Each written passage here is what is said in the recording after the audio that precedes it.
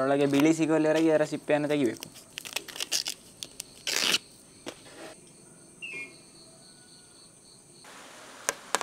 Friends ನಮ್ಮಲ್ಲಿ ತುಂಬ ಜನ ರಿಕ್ವೆಸ್ಟ್ ಮಾಡಿದಂಥ ಒಂದು ರೆಸಿಪಿ ಅಂತ ಹೇಳಿದ್ರು ಉಂಟಲ್ಲ? ಕಣಿಲೆಯಿಂದ ಏನಾದರೂ ಒಂದೊಂದು ಐಟಮ್ ಮಾಡಿ ಅಂತೇಳಿ ಹತ್ತು ಹಲವು ಕಣಿಲೆಯಿಂದ ಮಾಡಲಿಕ್ಕೆ ಆಗ್ತದೆ. ಇಲ್ಲಿ ನೋಡಿ ನಮಗೀಗ ಈ ಸಮಯದಲ್ಲಿ ಕಣಿಲೆಲ್ಲ ಬಿಟ್ಟು ಬಂದಿದೆ. ಈಗ ಒಂದು ಏಳೆಂಟು ಕಣಿಲೆಗಳು ಉಂಟು ಇದರಲ್ಲಿ. ಕಣಿಲೆ ಅಂತ ಹೇಳಿದರೆ ಈ ಬಿದುರಿನ ಚಿಕ್ಕ ಒಂದು ಪಿಳ್ಳೆಯನ್ನು ಕಣಿಲೆ ಅಂತ ಹೇಳುವಂಥದ್ದು ಆಯಿತಾ? ಇಷ್ಟೇ ಸಾಧಾರಣ, ಅದು ತುಂಬ ದೊಡ್ಡ ಆಗಬಾರ್ದು ಹಾಗೆ ಕಣಿಲೆ ಅಂತ ಹೇಳಿದ್ರೆ ಎಲ್ಲ ಸಮಯದಲ್ಲಿ ಕೂಡ ಸಿಗುವುದಿಲ್ಲ ಆಯಿತಾ? ಈ ಜೂನ್ ಜುಲೈ ತಿಂಗಳು ಅಥವಾ ಆಟಿ ಸಮಯದಲ್ಲಿ ಆಗುವಾಗ ಸಿಗುವಂಥದ್ದು.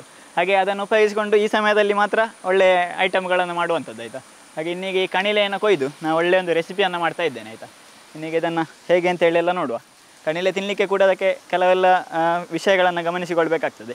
ಹಾಗೆ ಅದರ ಬಗ್ಗೆ ಎಲ್ಲ ನೋಡಿಕೊಂಡು ಈ ಕಣಿಲೆಯಿಂದ ರೆಸಿಪಿಯನ್ನು ಮಾಡಲಿಕ್ಕೆ ಶುರು ಮಾಡುವ. ಇನ್ನೀಗ ಕಣಿಲೆಯನ್ನು ಕಡಿದುಕೊಳ್ಳುವ, ಆಯಿತಾ? ನಮ್ಮ ಜೊತೆಗೆ ಶರ್ಮಣ್ಣ ಇದ್ದಾರೆ, ಮುಳಿಯದ. ಅವರು ಇನ್ನೀಗ ಈ ಇದನ್ನು ಕಡಿತಾರೆ. ಬುಡದಿಂದ ಕಡಿಯುವಂಥದ್ದು. ಅದರ ನೋಡಿ ಯಾವ ರೀತಿಯಾಗಿ ಉಂಟು ಅಂತೇಳಿ ತೆಂಗಿನ ಮರದ ತಿರುಳಿದ್ದಲ್ಲ ಹಾಗೆ ಇದ್ದಿದ್ದು. ಒಂದು ರೀತಿಯಲ್ಲಿ ಎಳೆ ಬಿದ್ದರನ್ನು ತಿನ್ನೋದು ಅಂತ ಅಷ್ಟೇ. ನೋಡಿ ಈ ರೀತಿಯಾಗಿ ಬುಡದಿಂದ ತೆಗೆಯುವಂಥದ್ದು ಆಯಿತಾ? ಆಗುವಷ್ಟು ಬುಡದಿಂದ ತೆಗೆದ್ರೆ ಒಳ್ಳೆಯದು ಸರಿಯಾಗಿ ಸಿಗ್ತದೆ ಕೂಡ ನಮಗೆ. ನೋಡಿ ಫಸ್ಟ್ ಕ್ಲಾಸ್ ಗಣಿಲೆ. ಹೇಗುಂಟು ನೋಡಿ? ಬಿದಿರು ಪುಂಡೆಯಲ್ಲಿನ ನಾಲ್ಕು ಬದಿಯಲ್ಲಿ ಕೂಡ ನಾಲ್ಕೈದು ಬದಿಯಲ್ಲಿ ಕೂಡ ಕಣಿಲೆಗಳು ಬಿಟ್ಟಿದೆ. ಇದು ನೋಡಿ ಎರಡು ಉಂಟು ಕೂಡ. ಆ, ಸ್ವಲ್ಪ ಕಂಜಸ್ಟ್ ಆಗಿರುವಂಥ ಜಾಗದಲ್ಲಿ ಉಂಟು. ನೋಡಿ ನಡುವಿನಲ್ಲಿ ಗೋಳೆ ಇರುವಂಥ ಬಿದಿರು ಇದು ಇಲ್ಲಿಯೇ ತೋಡಿನ ಬದಿಯಲ್ಲಿಯೇ ಬೆಳೆಯುವ ಕಾರಣ ಉಂಟು. ಒಳ್ಳೆ ದಷ್ಟಪುಷ್ಟವಾಗಿ ಬೆಳೆದಿದೆ. ಸಾಮಾನ್ಯವಾಗಿ ಹೀಗೆ ಪುಂಡೆಲು ಅಂತ ಹೇಳಿದರೆ ಎಲ್ಲಿಯಾದರೂ ಬದಿಯಲ್ಲಿ ನೀರಿರುವಂಥ ಕಡೆಯಲ್ಲಿ ಎಲ್ಲ ಇರ್ತದೆ. ಆಗ ಒಳ್ಳೆ ಇದಾಗಿ ಬಂದಿದೆ ಇದು ಕೂಡ. ಹೋಗುವ ಆಚೆ.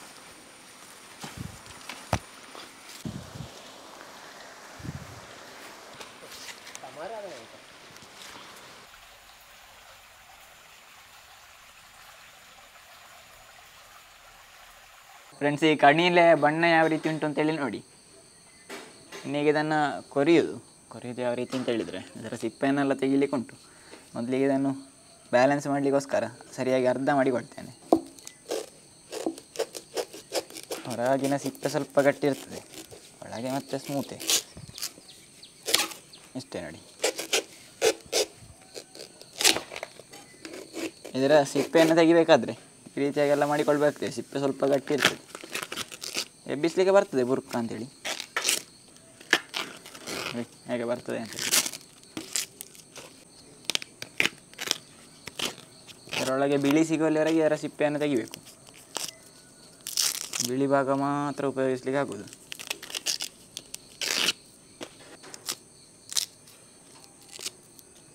ನೋಡಿ, ಈಗ ಒಳಗಿನ ಬಿಳಿ ಭಾಗ ಮಾತ್ರ ಸಿಕ್ಕಿತು ನೋಡಿ, ಇನ್ನೀಗ ಇದನ್ನು ಉರುಟು ಉರುಟಾಗಿ ಕೊರೆದುಕೊಳ್ಳುವಂಥದ್ದು.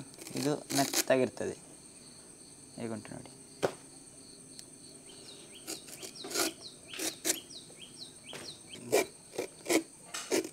ಈ ಗಂಟಿರುವಂಥ ಭಾಗ ಉಂಟಲ್ಲ, ಇದು ಎಳತ್ತಿದ್ರೆ ಉಪಯೋಗಿಸ್ಲಿಕ್ಕೆ ಆಗ್ತದೆ, ಇದು ಸ್ವಲ್ಪ ಗಟ್ಟಿ ಉಂಟು. ಬೇಡ, ಈ ಬಿಳಿ ಇರುವಂಥ ಭಾಗ ಮಾತ್ರ ಸಾಕು.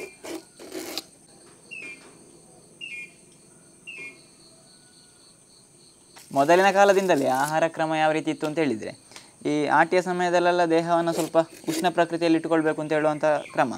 ಹಾಗೆ ಆಯಾಯ ಪ್ರದೇಶದಲ್ಲಿ ಸಿಗುವಂಥ ಆಹಾರ ಪದಾರ್ಥಗಳನ್ನು ಉಪಯೋಗಿಸಿಕೊಳ್ಳುವಂಥದ್ದು. ಈ ಕಣಿಲೆಲ್ಲ ಸಿಗುವಂಥ ಸಮಯದಲ್ಲಿ ಉಂಟಲ್ಲ ಕಣಿಲೆಯನ್ನು ಉಪಯೋಗಿಸಿಕೊಳ್ಳುವಂಥದ್ದು. ಅಥವಾ ಬೇರೆ ನಮಗೆ ಅದಕ್ಕೆ ಅದಕ್ಕೆ ಸೀಸನ್ ಉಂಟಲ್ಲ. ಆಯಾ ಸಮಯದಲ್ಲಿ ನಮಗೆ ಬೇಕಾದಂಥ ಪ್ರಕೃತಿಯೇ ಕೊಡ್ತದೆ. ಅದನ್ನು ನಾವು ಆಹಾರವಾಗಿ ಸೇವಿಸಿಕೊಂಡ್ರೆ ನಮ್ಮ ದೇಹಕ್ಕೆ ಬೇಕಾದಂತಹ ಅಂಶಗಳನ್ನೆಲ್ಲ ಅದುವೇ ಕೊಡ್ತದೆ ಅಂತ ಹೇಳುವಂಥದ್ದು. ಹಾಗೆ ನಮ್ಮ ಹಿರಿಯರೆಲ್ಲ ಅದನ್ನೇ ಸರಿಯಾಗಿ ಸದುಪಯೋಗ ಪಡಿಸ್ತಾ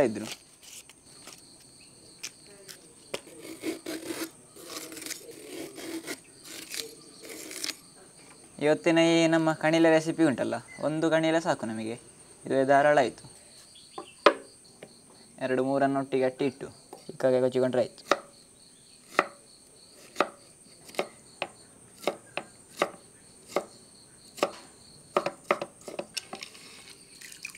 ಕಣಿಲೆಯನ್ನು ಪಚ್ಚೆ ಸರ, ಮತ್ತು ಬೇಳೆಯ, ಹೀಗಿರೋದನ್ನೆಲ್ಲ ಹಾಕಿ ಮಾಡುವಂಥ ಕ್ರಮ. ಹಾಗೆ ನಾನಿಲ್ಲೀಗ ಪಚ್ಚೆ ಹೆಸರು ಹಾಕಿ ಮಾಡಲಿಕ್ಕೆ ಅಂತೇಳಿ, ಅದರ ಪಚ್ಚೆ ಸರಿಗೆ ಸರಿಯಾಗಿ ಮ್ಯಾಚ್ ಆಗುವ ರೀತಿಯಲ್ಲಿ ಚಿಕ್ಕ ಚಿಕ್ಕಕ್ಕೆ ಕೊರಿತಾ ಇದ್ದೇನೆ ನೋಡಿ. ನೋಡಿ ಫ್ರೆಂಡ್ಸ್ ನಮಗೆಲ್ಲ ಕಣಿಲೆ ಕೂಡ ಕೊರೆದು ನೀರಲ್ಲಿ ಹಾಕಿ ಇಟ್ಟಾಯಿತು. ಇನ್ನೀಗ ಇದರ ಪ್ರೊಸೆಸ್ ಯಾವ ರೀತಿ ಅಂತ ಹೇಳಿದ್ರೆ ಉಂಟಲ್ಲ ಇದನ್ನು ಒಂದು ದಿವಸ ಹೀಗೆ ನೀರಿನಲ್ಲಿ ಇಟ್ಟುಕೊಳ್ಳುವಂಥದ್ದು. ಮತ್ತು ಇದರ ನೀರನ್ನು ಚೇಂಜ್ ಮಾಡಿಕೊಳ್ತಾ ಇರಬೇಕು, ಒಂದು ನಾಲ್ಕು ದಿವಸಗಳವರೆಗೆ. ಇದರ ನೀರನ್ನೆಲ್ಲ ಸೋಸಿ ತೆಗೆದು ಪುನಃ ನೀರು ಹಾಕಿಡುವಂಥದ್ದು ಆ ರೀತಿಯಾಗಿ ಮಾಡಿಕೊಂಡಿರಬೇಕು. ಮತ್ತೆ ಇದನ್ನು ಉಪಯೋಗಿಸಿಕೊಳ್ಳುವಂಥದ್ದು. ಮತ್ತು ಇದನ್ನುಂಟಲ್ಲ, ನಾನಾಗ ಉರುಟುರುಟಾಗಿ ಕೊರೆದೆ ಅಲ್ಲ, ಅದೇ ರೀತಿಯಲ್ಲಿ ಕೊರೆದು. ಉಪ್ಪು ನೀರಿನಲ್ಲಿ ಹಾಕಿಡುವಂಥ ಕ್ರಮ ಕೂಡ ಉಂಟಾಯ್ತು. ಅದು ಬೇಕಾಗುವಾಗ ತೆಗೆದು ಉಪ್ಪಿನಕಾಯಿ ಎಲ್ಲ ಮಾಡುವ ರೀತಿಯಲ್ಲಿ. ಆದರೆ ನಾವು ಹಲಸಿನ ಸೊಳ್ಳೆಯನ್ನೆಲ್ಲ ವರ್ಷಗಟ್ಟಲೆ ಇಡ್ತೇವಲ್ಲ ಉಪ್ಪು ಉಪ್ಪು ಸೊಳ್ಳೆ ಅಂತ ಹೇಳಿಕೊಂಡು. ಹಾಗೆ, ಇದನ್ನು ಕೂಡ ಹಾಗೆ ಉಪ್ಪು ನೀರಿನಲ್ಲಿ ಹಾಕಿ ಇಟ್ಟರೆ ಉಂಟಲ್ಲ. ನಮಗೆ ಬೇಕಾಗುವ ತೆಗೆದು ಉಪ್ಪಿನಕಾಯಿ ಅಥವಾ ಬೇರೆ ಎಂಥ ಐಟಮ್ ಬೇಕಾದರೂ ಮಾಡಿಕೊಳ್ಳಿಕ್ಕಾಗ್ತದೆ. ಫ್ರೆಂಡ್ಸ್ ಕಣಿಲೆಯನ್ನು ಕೊರೆದು ನೀರಿನಲ್ಲಿ ಹಾಕಿಟ್ಟು ಒಂದು ದಿವಸ ಆಯಿತು. ಇದೀಗ ಇವತ್ತು ನೀರನ್ನು ಚೇಂಜ್ ಮಾಡಿಕೊಳ್ಬೇಕಾಗ್ತದೆ. ಇನ್ನೀಗ ಈ ಕಣಿಲೆಗೆ ಪುನಃ ನೀರು ತುಂಬಿಸಿಡುವಂಥದ್ದು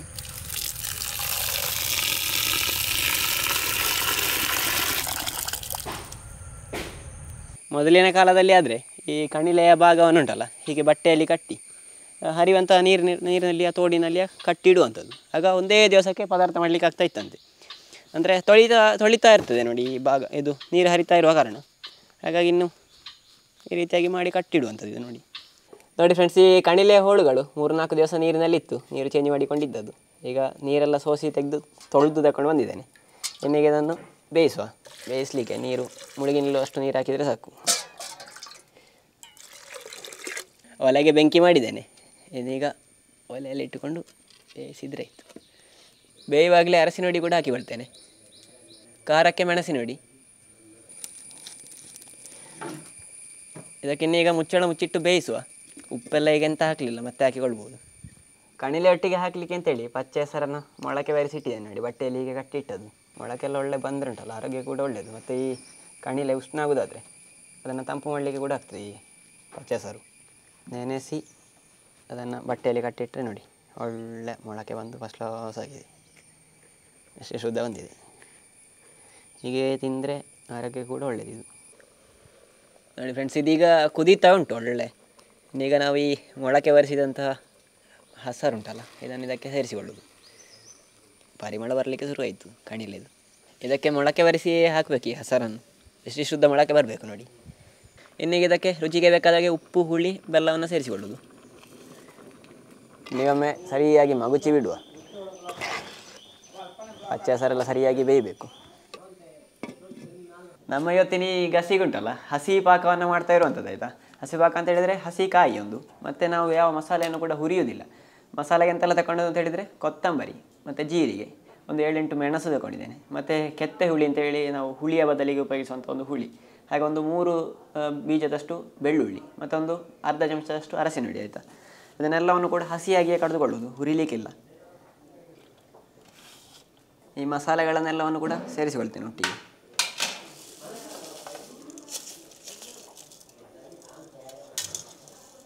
ಇನ್ನು ಇದನ್ನು ನುಣ್ಣಗೆ ಕಡಿದುಕೊಂಡ್ರೆ ಆಯಿತು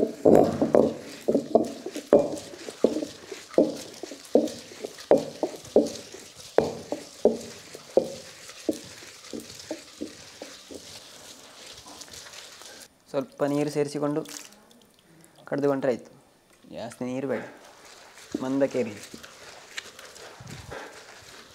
ಮಸಾಲೆ ಒಳ್ಳೆ ಪರಿಮಳ ಬರ್ತಾ ಉಂಟು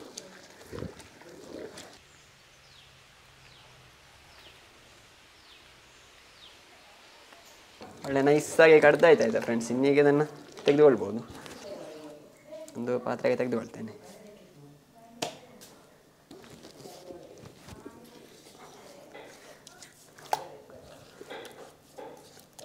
ಒಳ್ಳೆ ಪರಿಮಳದ ಪಾಕ. ಹಸಿ ಪಾಕ. ಕಲ್ಲಿಗೆ ಸ್ವಲ್ಪ ನೀರಾಕಿ ತೊಳೆದು ತೆಗೆಯುವಂತೆ. ಫ್ರೆಂಡ್ಸ್ ಈಗ ನೋಡಿ, ಹಸರೆಲ್ಲ ಚೆನ್ನಾಗಿ ಬೆಂದಿದೆ ಆಯಿತಾ? ಯಾವ ರೀತಿಯಾಗಿ ಉಂಟು ಅಂತೇಳಿ ತೋರಿಸ್ತೇನೆ. ಒಳ್ಳೆ ಬೆಂದಿದೆ ನೋಡಿ ಪಚ್ಚೆ ಹಸರೆಲ್ಲ ಒಳ್ಳೆ ನುರಿತಾ ಉಂಟು. ಇನ್ನೀಗ ಕಡ್ದಂತಹ ಮಸಾಲೆಯನ್ನು ಇದಕ್ಕೆ ಸೇರಿಸಿಕೊಳ್ತೇನೆ.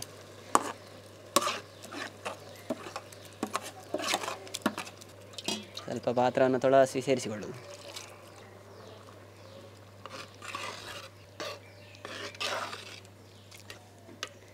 ಇದೀಗ ಒಳ್ಳೆ ಕುದಿಲಿಕ್ಕೆ ಶುರುವಾಯಿತು. ಇದಕ್ಕೆ ಈಗ ಇನ್ನೊಂದು ಒಗ್ಗರಣೆ ಮಾಡುವ. ಸ್ವಲ್ಪ ಸಾಸಿವೆಲ್ಲ ಹಾಕಿ ಸೀಮೆಣಸು ಬೇಯಿಸು ಸಾಸಿವೆಲ್ಲ ಸಿಡಿಲಿಕ್ಕೆ ಶುರುವಾಯಿತು ನೋಡಿ ಇದಕ್ಕೆ ಬೇರೆ ಸ್ವಲ್ಪ ಹಾಕುವಲ್ಲ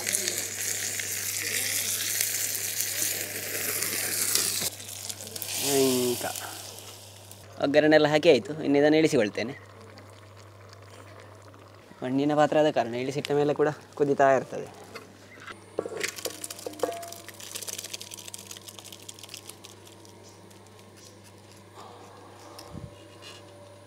ಚಪಾತಿಯೊಂದಿಗೆ ಬಿಸಿ ಬಿಸಿ ಕಣ್ಣೀರ ಗಸಿ. ಹೇಗಾಗ್ತದೆ ಅಂತೇಳಿ ನೋಡುವ.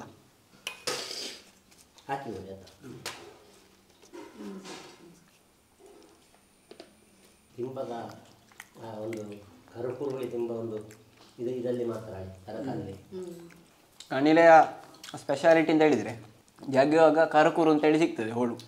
ಬೆಂದರು ಕೂಡ. ಬೆಂದರು ಕೂಡ ಹೋಳುಗಳು ಕರಕುರು. ಭಾರಿ ಒಳ್ಳೆಯದಾಗಿದೆ ಕೂಡ ಗಸಿ. ವರ್ಷದಲ್ಲಿ ಒಮ್ಮೆ ಈ ಕಣ್ಣಿಲೆಲ್ಲ ಸಿಗುವಂಥದ್ದು. ಹಾಗೆ ವರ್ಷದಲ್ಲೊಮ್ಮೆ ಹೀಗೆ ಕಣ್ಣಿಲೆಯಿಂದ ಎಂತಾದರೂ ಒಂದೊಂದು ಗಸಿಯ, ಸಾಂಬಾರು ಅಥವಾ ಪಲ್ಯ ಎಂಥದ್ದಾಗ್ಬೋದು ಹಾಗೆ ಒಂದೊಂದು ಮಾಡಿ ತಿನ್ನಬೇಕು ಅಂತೇಳಿ ಒಂದು ಕ್ರಮ ಉಂಟು. ಹಾಗೆ ಊರಿನಲ್ಲೆಲ್ಲ ಮಾಡ್ತಾರೆ. ಹಾಗೆ ಒಂದು ಗಸಿ ಮಾಡಿ ನಮ್ಮದಾಯಿತು. ನೀವು ಕೂಡ ಒಮ್ಮೆ ಖಂಡಿತವಾಗಿಯೂ ಟ್ರೈ ಮಾಡಿ ನೋಡಿ. ಈಗ ಆಟಿ ಸಮಯದಲ್ಲಿ ಖಂಡಿತವಾಗಿ ನಿಮಗೆ ಕೂಡ ಕಣ್ಣಿಲೆ ಸಿಗ್ಬೋದು ಅಂತೇಳಿ ಭಾವಿಸ್ತೇನೆ. ಒಂದು ನೀವು ಕೂಡ ಟ್ರೈ ಮಾಡಿ, ನಿಮ್ಮ ಅಭಿಪ್ರಾಯವನ್ನು ಕೂಡ ಕಮೆಂಟ್ ಮೂಲಕ ನಮ್ಮ ಜೊತೆ ಹಂಚಿಕೊಳ್ಳಿ. ಹಾಗಾದರೆ ಮುಂದಿನ ವೀಡಿಯೋದಲ್ಲಿ ಇಂತಹ ವಿಶೇಷವಾದಂಥ ವೀಡಿಯೋಗಳೊಂದಿಗೆ ಬರ್ತಾ ಇರ್ತೇನೆ. ಮುಂದಿನ ವೀಡಿಯೋದಲ್ಲಿ ಸಿಗುವ ನಮಸ್ಕಾರ.